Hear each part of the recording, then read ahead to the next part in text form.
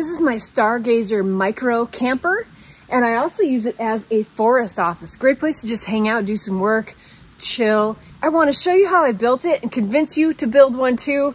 Anybody can do it, trust me. First, let's take a tour.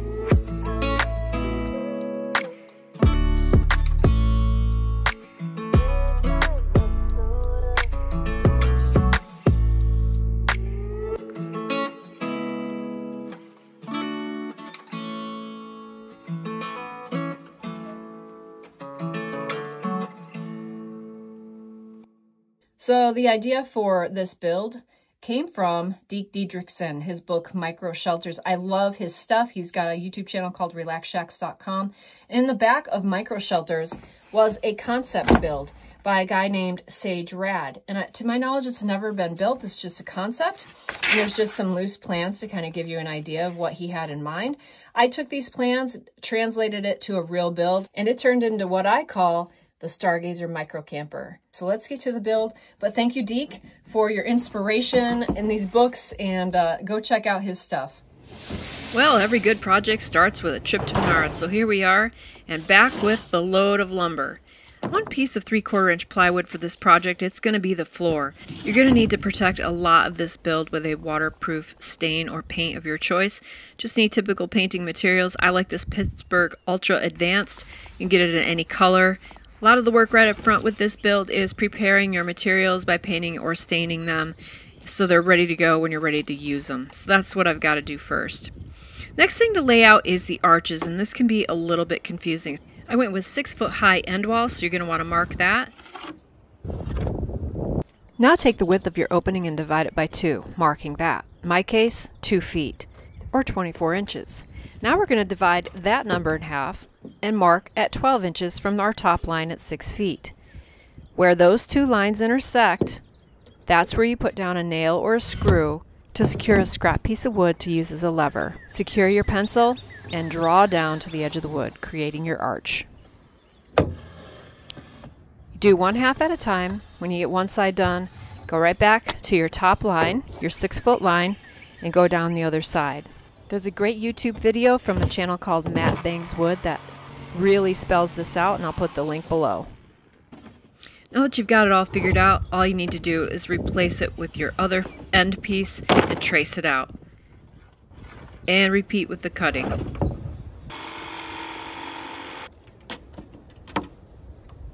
Now it's time to employ the same technique we just used for the end wall arches to figure out your door arch. Determine the height and the width and the placement of your door and then just employ the same technique to do the arch. The door I'm using here measures 24 inches wide by 66 and a half inches high. Again, if you need more clarity, I really suggest checking out uh, the Matt Banks Wood video on how to lay out these arches, it'll make a lot more sense when you watch that. Now it was time to trace around my little porthole window. And it comes in two pieces. And you want to make sure you're going to trace it with the inside of the circle, not the outside. Had a few challenges with this one. I, I got my lines off, but got it all figured out and I lowered my window a little. So now I'm going to cut it out.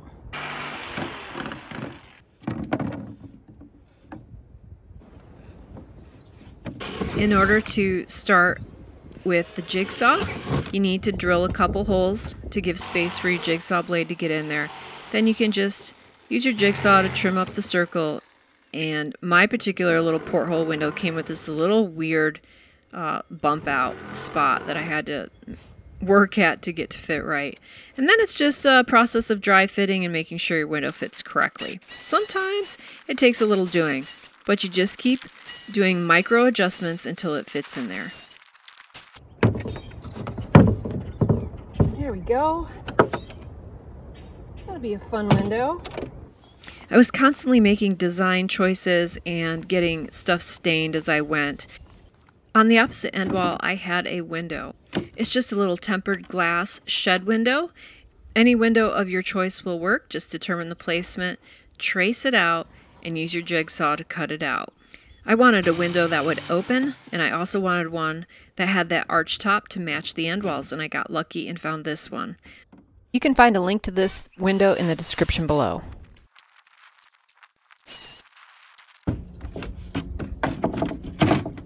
There we go.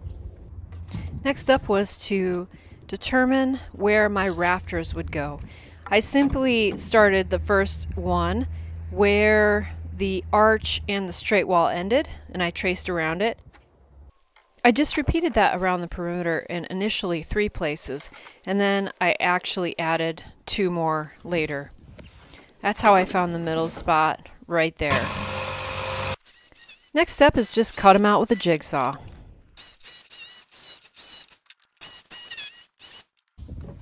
Next thing you want to do is dry fit a spare piece if you've got it. You want that flush on the outside and you want those pieces to, to be nice and snug. To make sure it matches the other end, you simply lay it on top of the one you haven't done yet and trace it in place so they match exactly. Another round of cutting and dry fitting and you're ready to go. After giving it some thought, I decided to add two more rafters. So I cut out two more spaces, and in total, we're going to have five rafters for this project.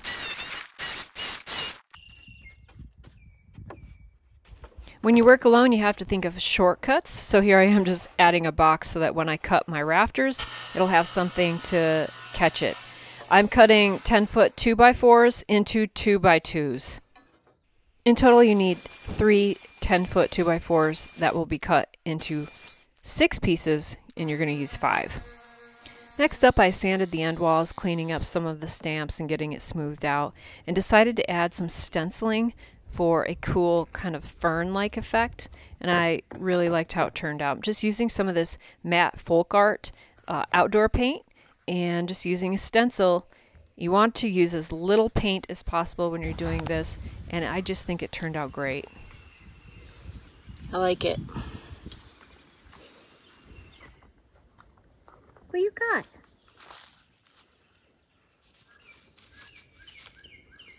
You got a bowl? For my hitch, I need a two and a half inch square board, so I'm going to laminate these two pieces together with construction adhesive. Look at this. This thing just split. Let me put it in there. I'm not going to let it go to waste. Stuff is expensive, so I'm just going to spread it by hand. My hitch is 10 foot 6 inches long. Just going to clamp it and let them dry overnight. Now it's time to wrestle that 3 quarter inch plywood back on the sawhorses. I want to finish the bottom, which will be the floor. So what I'm going to do first is sand it all down, get it really nice and smooth. Then I'm going to finish it with a couple coats of satin Varathane floor finish.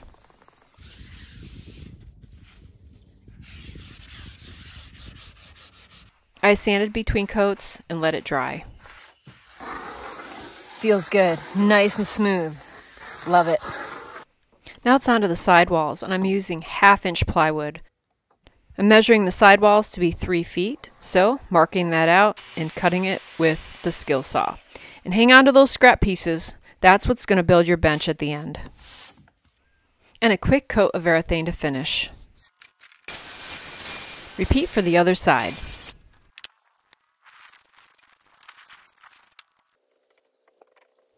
Oh my goodness. So I just finished putting a clear coat on the top of this.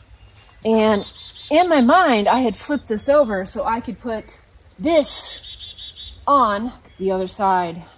And I just put it over top of the nice gloss I just put on here. Oh my goodness. Oh my goodness. This is going to be back against the wall. You probably won't see it, but I'll know it's there and it'll drive me crazy. I'm gonna turn it into something instead of a blob. Maybe a heart, a black heart. You have to love your mistakes.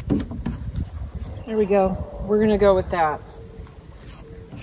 Next up, I decided to put a protective coat over all of the stencil work that I did just to protect it more. Just a nice quick coat of Varathane. And I'm on to decorating the door. I decided it would be a nice accent piece against the opposite end wall found this really cool pieced pine board at Menards, and that's what's going to make the table. My shelf, that'll be really pretty. And that spare piece will be used for the legs. Meanwhile, a couple coats of Varathane will finish it off. It's going to be really pretty. All right, time to get to the hitch. Let's get this thing cut up. I need it two and a half inches square for my one and seven eighths inch ball hitch. So whatever size you've got, make sure you give it a good measure. That's the size you're going to want your entire hitch to be. In my case, it's two and a half by two and a half. So now I've got to cut this thing down. And since the saw isn't deep enough to cut in one pass, I had to run it through both ways. Again, I use the box method to help catch that on the other end when I'm by myself. And there you go. Now I've got to cut off this way. Now I need this to be two and a half, so I need to cut off half an inch here.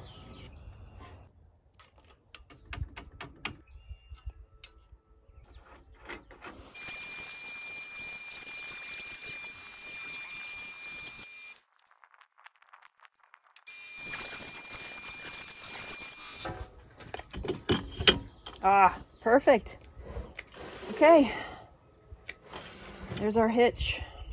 Here I've got two pre-stained 10 foot 2x4s. What I'm doing here is kind of chamfering the edges so that when this gets flipped over, it, it'll have a little bit of an angle against the ground. I'm going to do that on both ends and just mirror it on each one so they match. Cut it with a skill saw and you're good to go. Make sure finish that off with some stain. Attach it with a couple of screws And then when you flip the whole thing over, you'll be adding more screws from the top down.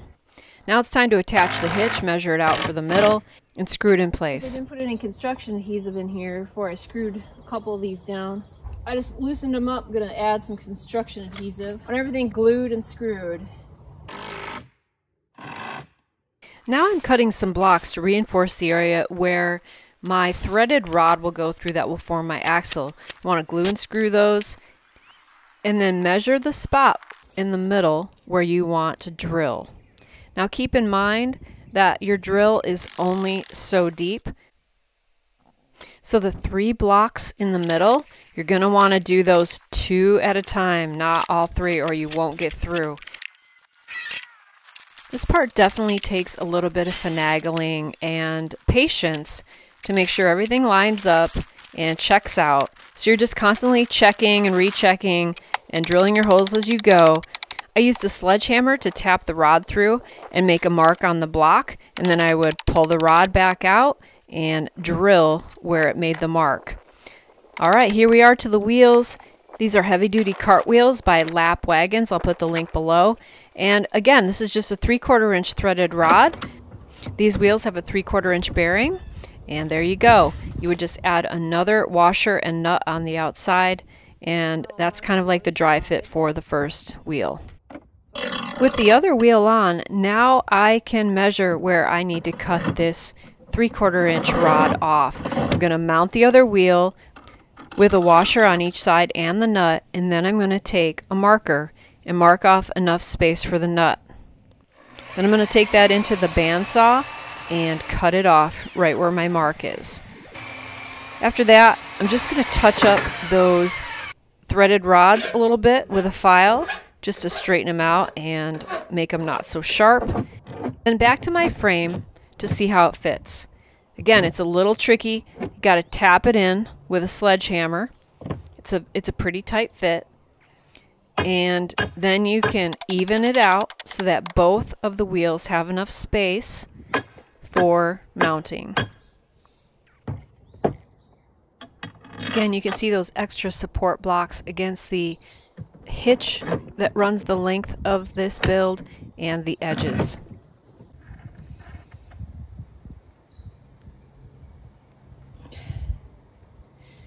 There we go. Axle and the wheels are on. All right, I need a couple more side supports and I'll be ready to flip this thing over.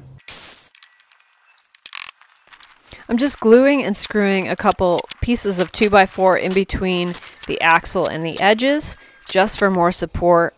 And don't forget to finish off your cut ends. All right, so here's the finished underside with the supports. And now it's time to flip it over and get to work on the rest of it. This really would be a lot more handy with two people, and that way you don't have a chance of bending your axle. And now that it's flipped over, you want to go ahead and screw down everything from the top to give it a lot more strength. Next thing I'm doing is adding two by twos around the perimeter and I want to offset them a half an inch. This is going to give my sidewalls room to sit on the base, just like this. Once that's in place, screw them in and you're good to go. Oops, the black heart plagues me again. There's no fixing that, so we're going to have to undo it and flip it around to the other side if I want it where I want it, which is hidden under the bed.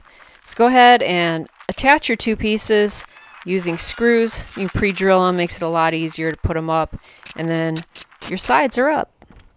Next thing you want to do is add another piece of 2x2 to every corner. So measure it out in place, cut them, and place them just like this. All these 2x2s are adding structural integrity to your little camper, but they're also giving you a place to screw things together. Now it's time to attach the end walls and you can use a little cheater piece screwed in from the bottom to help you place that and secure it with screws.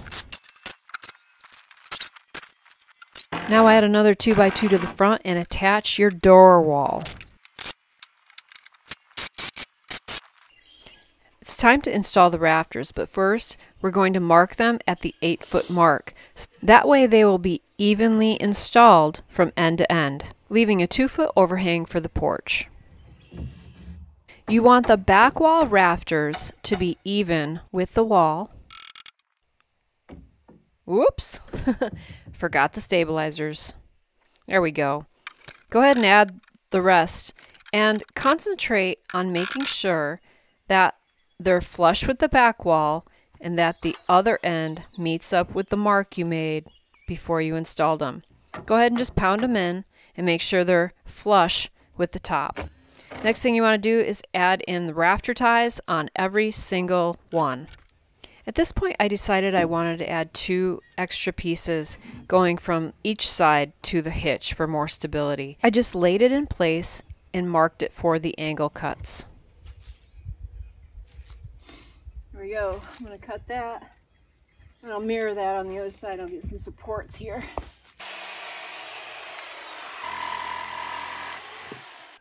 With those cuts made, now I just screwed them in place.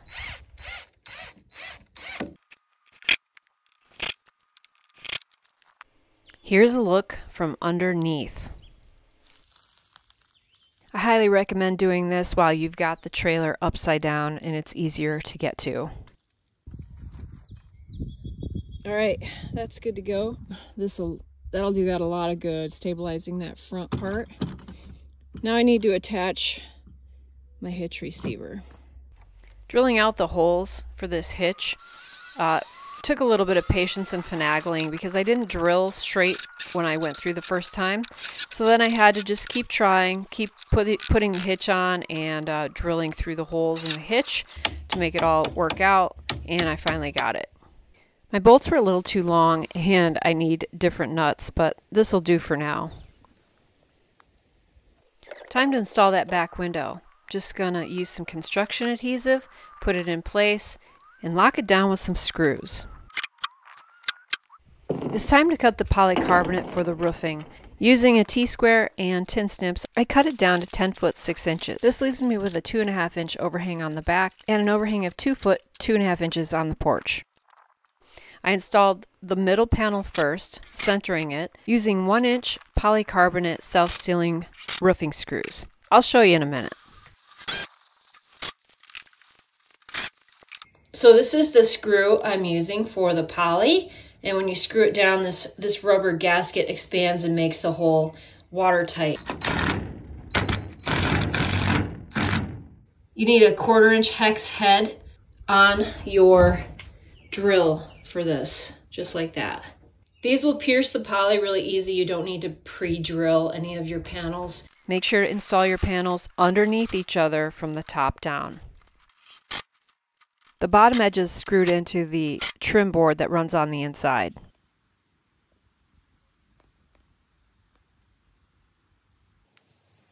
This is what the porch looks like over the door. And this is what the overhang looks like on the window side.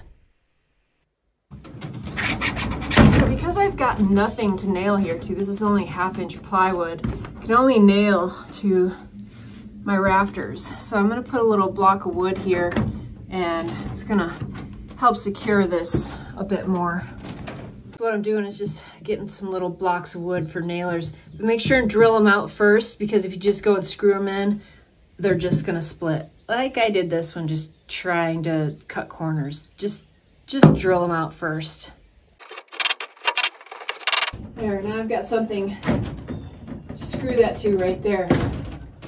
All right, I've got some blocking there and blocking here. So now I can finish tying in this loose stuff. I don't like that at all.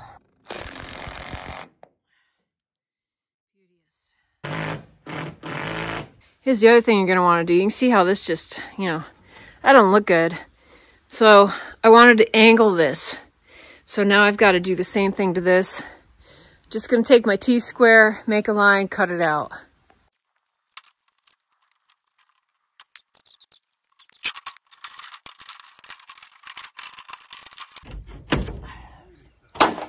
Then you're gonna want to round this corner because you can just imagine just smashing yourself. That's not awesome. Ow! Oh! Oh my gosh!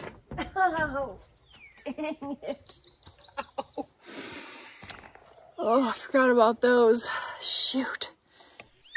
After I got it cut out, I just took my little multi-tool with a sander and sanded down those rough edges. Next up, I wanted to find a solution for still securing those panels a little bit more, and this aluminum edging did great. It's just an aluminum band.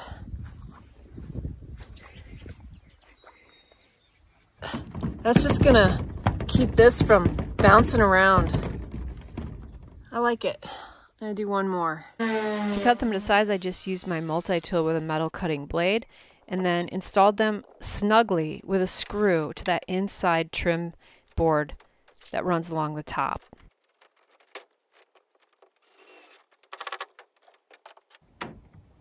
Cool. That will be flapping around now. So I found this at Menards. It isn't the intended use. It's a termination bar, 10 foot.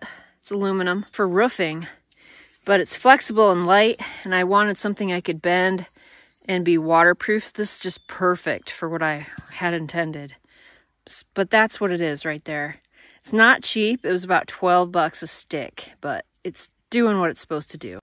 That's what it looks like in here now.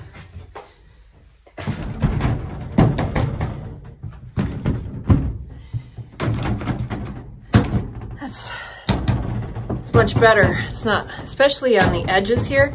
It was just kind of loose, you know? I just didn't like how loose it was. This is perfect solution. I love it. Now it's time to hang your door. I used light decorative hinges and a small door pull with a barrel lock. At the end of the day, you can use whatever you'd like. You can install your porthole window with some construction adhesive and screws. Really easy to do. And the trim piece goes on the outside. Ha! That is super cool. And this just opens up for fresh air. Cool. To build the bench, you use the two one foot sections that you cut from your half inch sidewalls. I made my bench six foot eight inches long. You can do whatever you'd like. You can just cut them off. And then using scrap two by fours and scrap pieces of wood, you're going to add reinforcements along the length and along the seams. All right, you can see here what I did. I just added reinforcements to the bottom of my sleeping bench. I just used some scrap wood and two uh, two by fours that I still had from this project. So now I'm gonna cut some legs and the bench will be done. Cut your legs to whatever size you think you're going to want your bench, but keep in mind if you want a five gallon composting bucket toilet underneath, make it so that it'll fit underneath the bench. All right, so I've got these like kind of just really loosely uh, screwed in. I'm gonna turn it over, screw them in better, but this side's going against the wall and I want it to uh, go over the kind of trim piece I have on the bottom. And then this piece is gonna be in the front, so I kind of wanted more support. So that's why those are angled differently.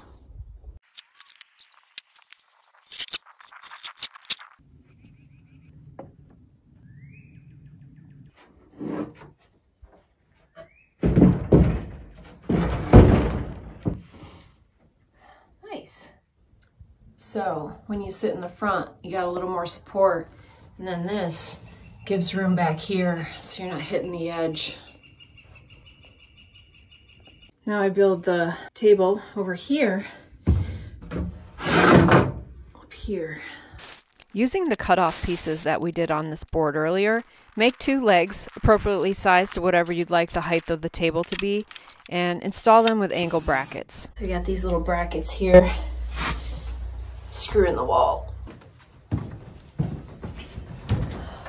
Oh, I like it. It's starting to feel like something now. Now I'm gonna go get my mattress, my foam that I need to cut down, open that up and like decorate, I guess. my favorite part. I'm just gonna use some of this just kind of soft cotton like rope ribbon I got to go around the window. Just put it in with uh, construction adhesive. There we go. For a cushion on the bench, I went to Walmart and bought a twin foam mattress. They come rolled up, you unroll them, they kind of expand in size, and it was the cheapest option I could find for what I needed. To cut it down, I just used a straight edge and a marker, and then just literally took a giant kitchen knife that was nice and sharp to cut it out. If you have an electric bread knife, that works great on foam like this. Perfect. All right. Let's see how she feels. Oh yeah. Oh, this is good. And I feel like this needs a little pull out. But not today. One thing that needed attention was filling the gaps of these uh, corrugated panels. And they do sell a foam that matches this. So you just go buy the package of foam and slowly just fit them in place, cutting little pieces as you go. And that's going to keep mosquitoes and wind out. Make sure you caulk all your seams with a weatherproofing seal and don't forget the window too. For trim, I just took some of my little scrap pieces that I liked and used those for the window. Just cut them to size and I was good to go. For the top curve, another piece of rope type material with construction adhesive would do and three screws, top and each side to secure it in place.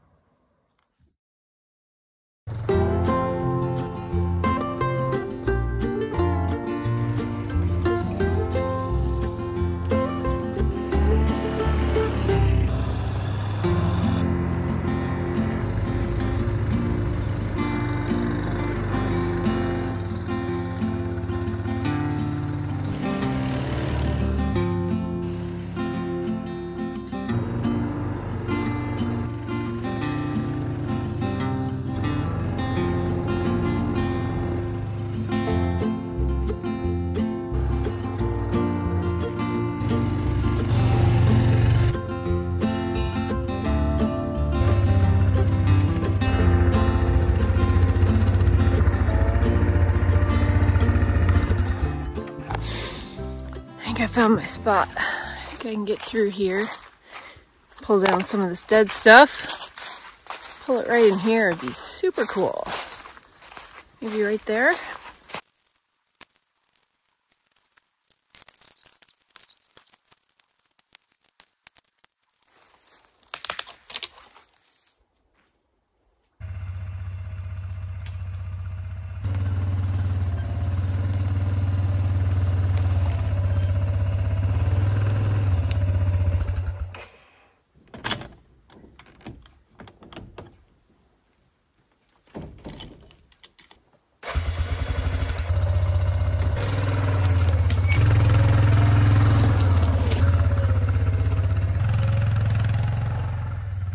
move this by hand where I want it and get this cleaned out in here. Oh, this is just a cozy little Sparto spot. I like it. Just logging on the road.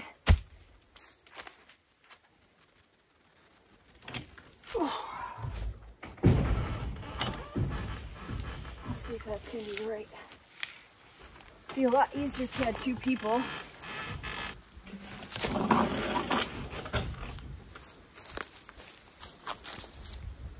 Well, looks like everything fared all right in the travel.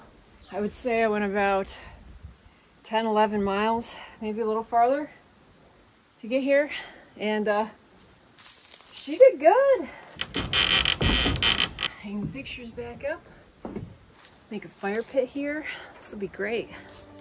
Oh, it's gonna be awesome.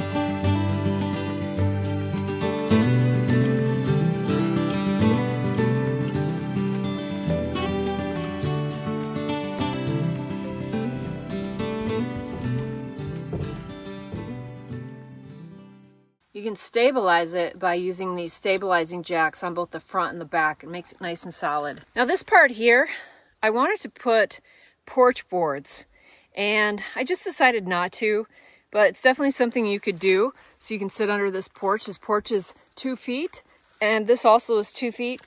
The other thing you could do with this is grab a friend and you could move this by hand.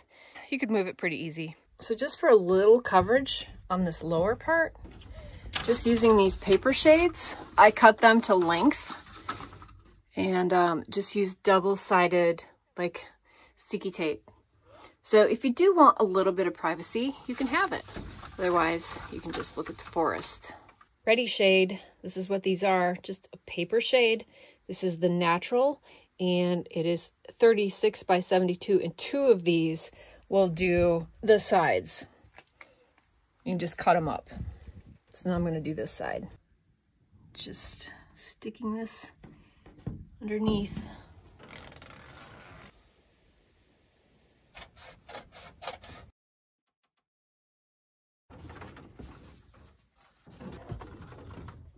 When you're ready to just use this porthole, you could just go on the outside and take a bungee cord and just get a piece of screen so that you can keep the uh, bugs out and you can actually get some cross ventilation here. Well guys, hope you liked the video. ah, getting attacked. See you in the next one. Squirrel in the woods. She gone. Oh, don't forget to get outside get happy. she gone.